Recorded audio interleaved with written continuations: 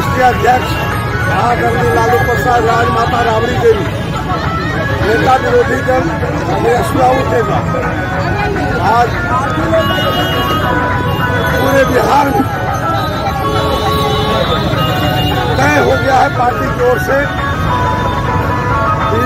विरोध मार्च निकलेगा।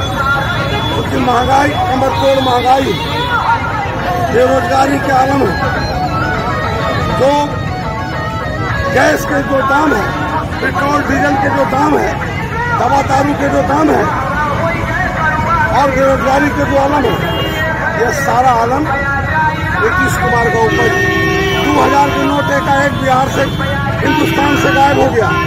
ये दो हज़ार का नोट कहाँ चला गया एकाएक इसका मतलब कि अडानी के राज आने वाला है, देश के राष्ट्रपति होंगे अडानी, और देश के प्रधानमंत्री होंगे अंबानी। तो नीतीश कुमार के क्या काम है चार नंबर पार्टी का? ये तो ज़बरदस्ती मुख्यमंत्री बने हुए हैं।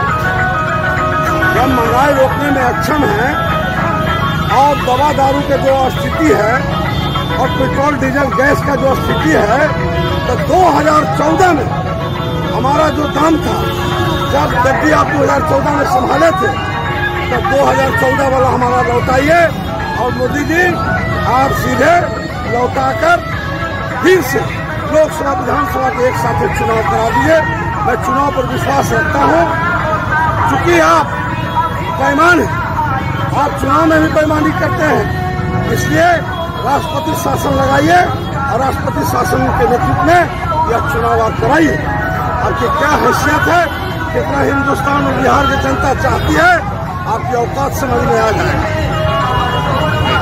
अपनी ओर से, प्रधानमंत्री जी से और बिहार के सूबे के मुखिया नीतीश कुमार से इस्तीफा चाहते हैं कि आप लोग दोनों महँगाई, बेरोजगारी के नाम पर इस्तीफा दीजिए, राष्ट्रपति शासन लागू कीजिए और फिर से जनमत हासिल कीजिए, तब गद्दी पर बैठिए। अगर आप में है तो इस काम को करके बिहार की जनता को दिखलाइए, तब मैं आपको समझूं कि आप में दम है, नहीं तो आप चार नंबर के पार्टी है। मोदी भी चार नंबर का पार्टी है और नीतीश भी चार नंबर का पार्टी है।